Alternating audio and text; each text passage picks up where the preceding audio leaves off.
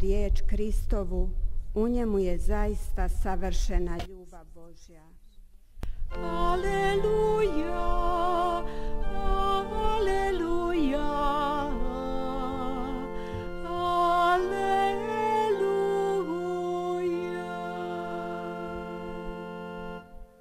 Gospodin s vama. Pan z wami. Čitanje Svetog Evangelija Słowa Ewangelii według świętego Mateusza. Ono vrijeme prolazio je Isus subot Pewnego razu Jezus przechodził w szabat wśród zbóż. Uczniowie Jego, będąc głodni, zaczęli zrywać kłosy i jeść. Gdy to ujrzeli faryzeusze, rzekli mu, oto Twoi uczniowie czynią to, czego nie wolno czynić w szabat. A on im odpowiedział, nie czytaliście, co uczynił Dawid, gdy był głodny, on i jego towarzysze? Jak wszedł do domu Bożego i jadł chleby pokładne, których nie wolno było jeść jemu ani jego towarzyszom, tylko samym kapłanom. Albo nie czytaliście w prawie, że w dzień szabatu kapłani naruszają w świątyni spoczynek szabatu, a są bez winy. Oto powiadam wam, tu jest coś y, większego niż świątynia. Gdybyście zrozumieli, co znaczy chcę raczej miłosierdzia niż ofiary, nie potępialibyście niewinnych. Albowiem Syn Człowieczy jest Panem Szabatu. Oto słowo Pańskie.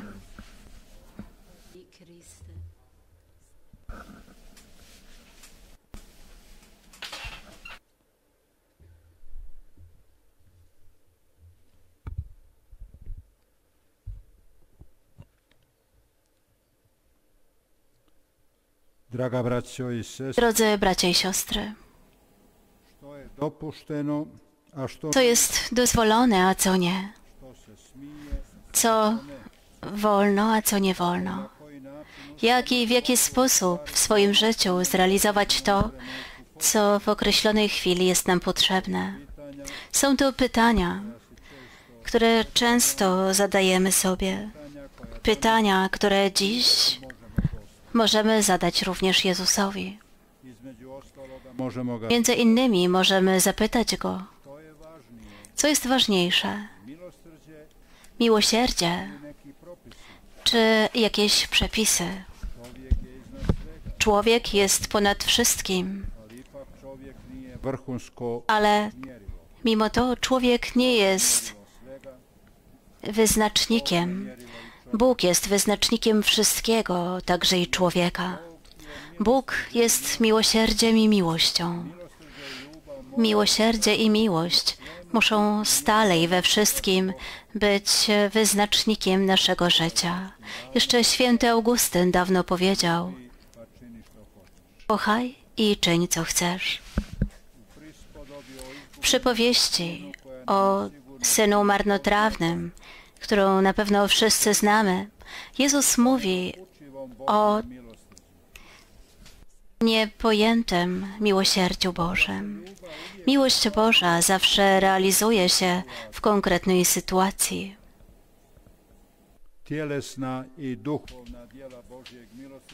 Fizyczne i duchowe dzieła miłosierdzia Bożego, o których mówimy dzieciom na religii, powinny być sposobem czy też stylem życia chrześcijańskiego. Sami wiecie, że istnieje siedem cielesnych dzieł miłosierdzia i siedem duchowych, głodnych nakarmić, spragnionych napoić, ubogiego odziać i tak dalej, i tak. Miłosierdzie jest podstawowym pojęciem Ewangelii, kluczem życia chrześcijańskiego, jak mówi kardynał Walter Kasper. Dlatego świętej pamięci papież Jan Paweł II niedzielę po zmartwychwstaniem, po Wielkanocy ogłosił niedzielą miłosierdzia Bożego, tak zwaną Białą Niedzielę.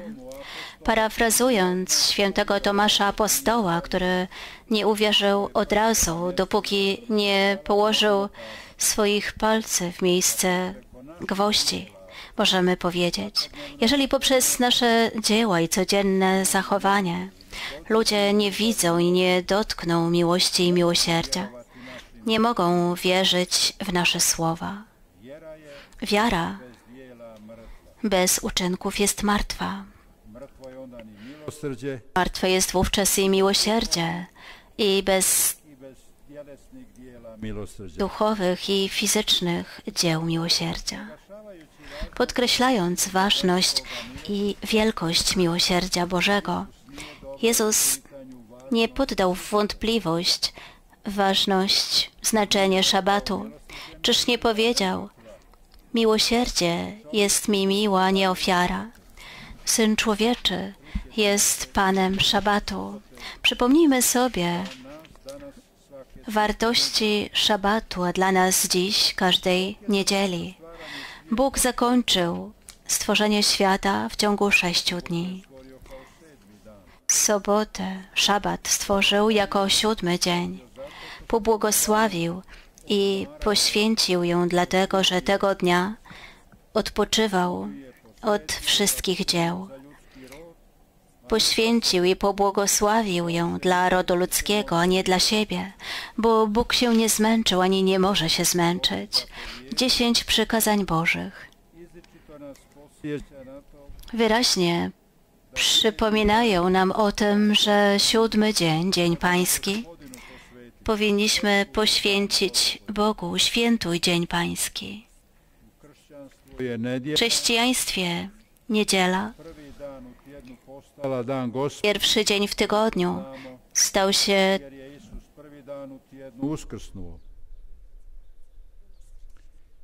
dniem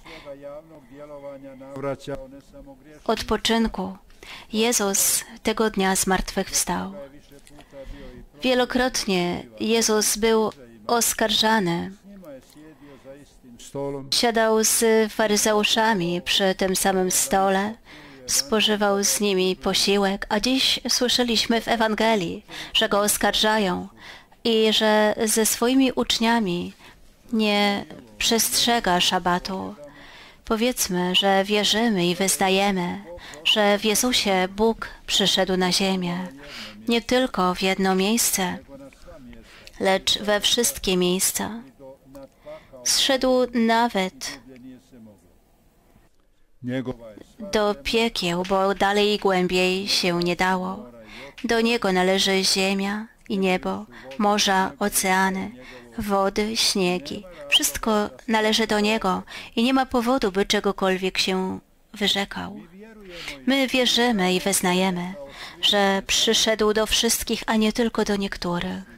Wszyscy są Jego wybrańcami, a ponad wszystko przyszedł do grzeszników, bo nie chorzy szukają lekarza, nie zdrowi szukają lekarza, lecz chorzy.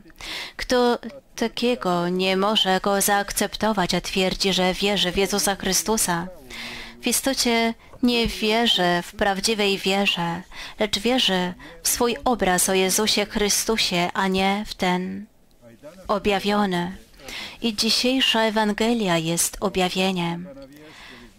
Przed chwilą czytaliśmy Ewangelię, a Jezus między innymi powiedział, gdybyście rozumieli, co to znaczy, chcę raczej miłosierdzia niż ofiary, nie potępialibyście niewinnych, albowiem Syn Człowieczy jest Panem Szabatu. Zgodnie z dzisiejszą Ewangelią uczniowie Jezusa zgłodnieli i w szabat zaczęli zrywać kłosy i jeść. Faryzeusze czynią zarzuty, nie widzą potrzeby głodnych, nie okazują miłości, lecz osądzają. Ważniejszy jest dla nich szabat niż człowiek. Tę samą scenę znajdujemy w Ewangelii Marka, gdzie Jezus odpowiada faryzeuszom. Szabat został stworzony dla człowieka, nie człowiek dla szabatu. I to samo znaczenie ma niedziela święta.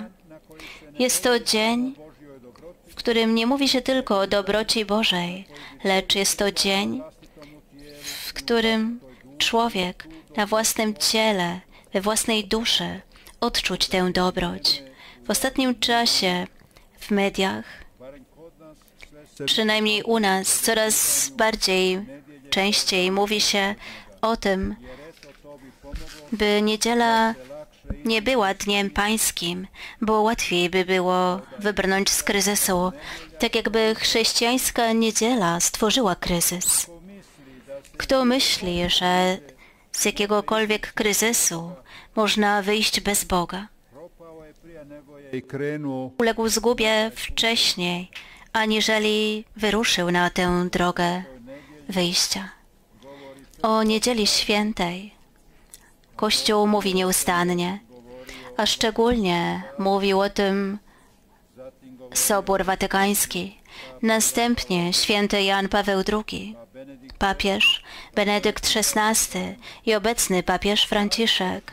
Nauka Kościoła jest w tej kwestii jasna, ale nie wiem na ile jest znana i zawsze w określonych okolicznościach nam, chrześcijanom. Powtarzam, niedziela została stworzona dla człowieka, a nie człowiek dla niedzieli. Jak człowiek mógłby rozwijać się jako osoba? Jak mógłby rozmyślać o własnym życiu? Aby mógł to czynić, należy zapewnić mu miejsce i czas osobistej wolności. Człowiek musi potrafić zatrzymać się w życiu, tak jak na światłach, bo w innym wypadku wejdzie na czerwonym świetle i wiemy, co następuje. Niedziela jest potrzebą duchową człowieka, która może być uwarunkowana i ograniczona różnymi faktorami, na przykład zmęczeniem fizycznym, psychicznym, nieustanną pracą, wyczerpaniem. Dlatego ważne zwrócić uwagę na potrzeby biologiczne i odpoczynek. Człowiek nie jest tylko jednostką, lecz poprzez swoją istotę jest ukierunkowany na innych. To jest część składowa nauki chrześcijańskiej o człowieku, który został stworzony na obraz Boży.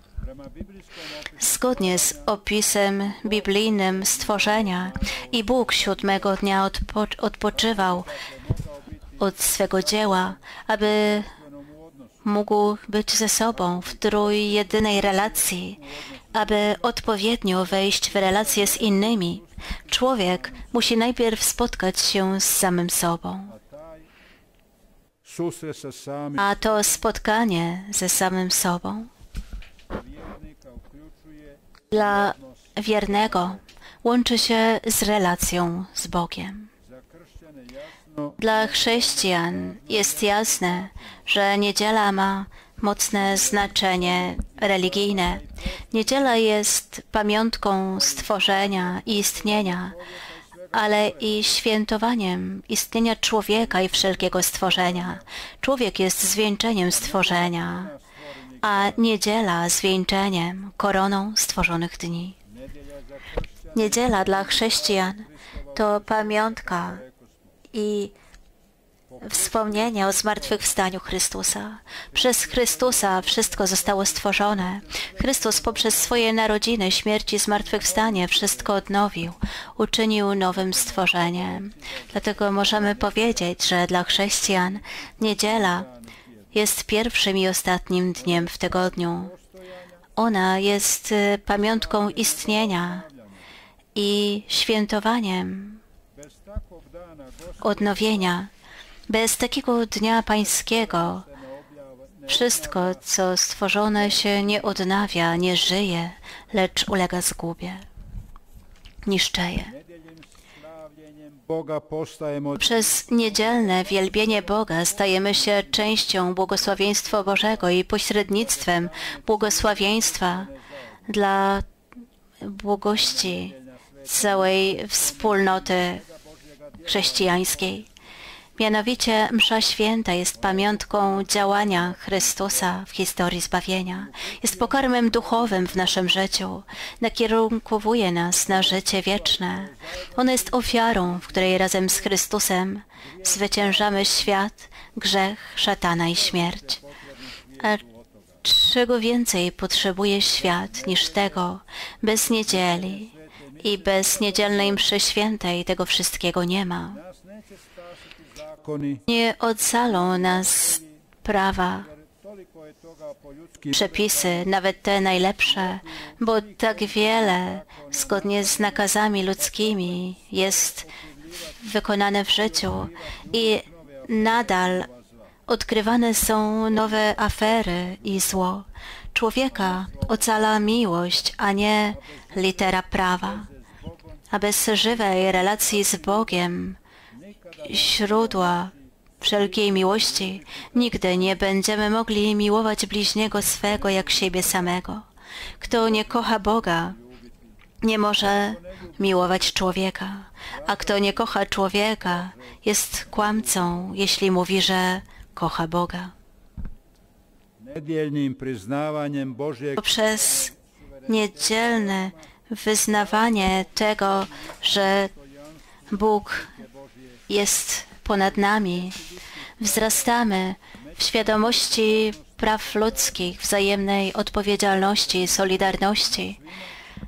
Wzrastamy w miłości do wszystkich, których dał nam Bóg, bez względu na to, gdzie jesteśmy i jaką pracę wykonujemy.